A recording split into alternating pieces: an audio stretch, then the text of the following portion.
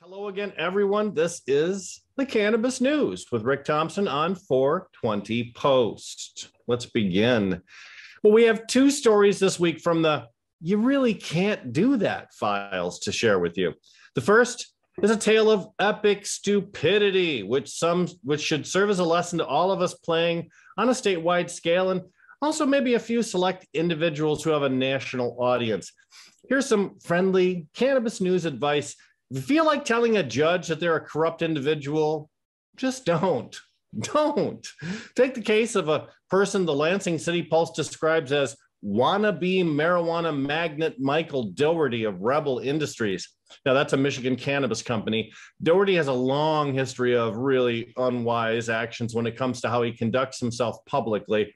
In the early years of the cannabis business program, Doherty published a video of himself in front of a table filled with thousands and thousands of dollars in cash, bragging about his success and his abilities. Hmm. Last year, his Rehbel company was placed in receivership because Doherty didn't meet his financial obligation to lenders. At that time, Doherty made some pretty unkind statements about the legal system which was passing judgment on him, including some unwarranted attacks on the judge presiding over his case. Well, he made those statements again, but this time it was in a courtroom setting. Doherty was in a court to face criminal contempt charges for writing threatening emails to some principals in the receivership case. While acting as his own attorney, Doherty refused to take the witness stand when ordered to do so by the judge. Then, when he did take the stand, he repeatedly called the judge corrupt to her face.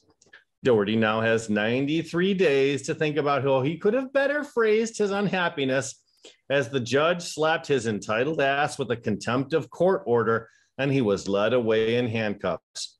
You can watch a video of the bad kabuki theater that is Doherty's performance on reporter Todd Heywood's YouTube channel. Now I'm trying to think is there any other national figure who makes a regular thing out of calling prosecutors and judges corrupt? You know, there's this one guy Anyway, in our second Don't Do That segment, we have exclusive brands and their misadventures in cannabis friendly Gaylord, which is a Michigan city in the central part of the lower peninsula.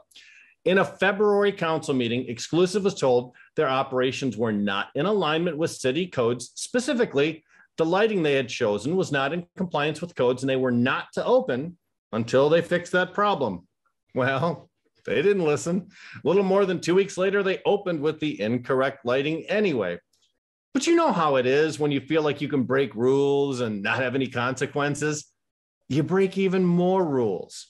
According to reporting by news outlet The Center Square, exclusive brands erected a tent in their parking lot without a permit, violated the prohibition against using words or images associated with marijuana on their building, and they offered curbside delivery, which is expressly forbidden in Gaylord's ordinance. Well, when your screw ups number one, two, three, and four, you don't get to play anymore. And the council revoked their license to operate in the city. They were open less than one month. Hmm. Attorneys for the city expect to plead for a reissuance of their operating license as an April 10 council meeting.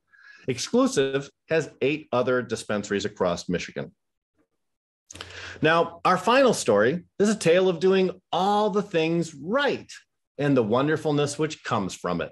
This past weekend was a big one for the city of Ann Arbor as a series of cannabis themed events brought in thousands of visitors.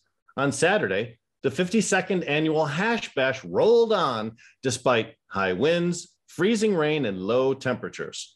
Despite all those negatives, a hardcore crowd of more than a thousand people attended and heard speakers like John Sinclair, the county's prosecuting attorney, candidates for public office, longtime well-known advocates for social justice like Adam Brook, Jamie Lowell, myself.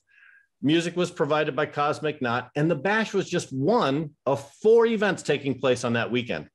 The Monroe Street Fair rocked out with an expanded space before, during, and after the bash event. The fair is the event that almost wasn't. Organizers fought through city challenges and an attempt to squash the open smoking street party just weeks before April arrived. Now, the third event in Ann Arbor was the Hash Bash Cup, a three day whole hotel takeover of music and celebrations featuring Bizarre from D12, Pony Boy from Los Marijuanos, Willie J. Peso, and other recording artists pulled from across America. The Cup is a cannabis competition which, for the second year, featured independent, unlicensed growers competing directly against licensed growers from Michigan's highly regulated marketplace. Now, the final event of that four event successful weekend was the Hash Bash Treasure Hunt, which is a drive around town and get freebies kind of a program organized by Josie Scoggin and members of the Redemption Foundation in support of the Great Lakes Expungement Network. More than $25,000 were raised to help offset the cost of expunging criminal cannabis convictions from people's permanent records. Great Lakes Expungement has performed more than 700 expungements in Michigan, all of them paid for by donations and performed by volunteers and foundation members. So if you're keeping track, here's the scorecard. Thousands and thousands of people flocked to one of Michigan's greatest cities. There were zero arrests, zero health emergencies, four outstanding happenings, and the city felt the love. I'm very proud to have been involved one way or another in all four of these events. And there is no better example in America of breaking the stigma associated with cannabis use. And before I give this show back to Mike, we have to note the passing of a cannabis industry figure, Robert Platshorn from Florida. Now, Robert's known as the Black Tuna. Platshorn served more than 30 years in federal prison for being a world famous drug smuggler. Bobby was an author and a friend, as well as a cannabis entrepreneur who had his own line of products sold through the Trulieve dispensary chain in his home state. And we wish have best wishes for his family and all of his friends who will miss him.